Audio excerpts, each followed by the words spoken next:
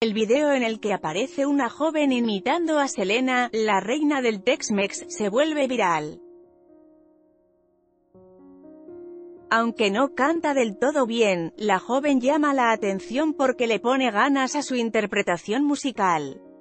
Selena murió hace ya 23 años, y pese al paso del tiempo, sigue en el gusto del público con sus canciones, como es el caso de esta joven, quien baila a ritmo de La Carcacha, uno de los éxitos musicales de Selena. El video en cuestión se ha viralizado ya, y al parecer, es grabado afuera de un mercado, pero no se indica en qué ciudad, el caso es que, en parte, también el video llama la atención también porque la joven mujer, que aparenta tener unos 20 años de edad, no canta bien.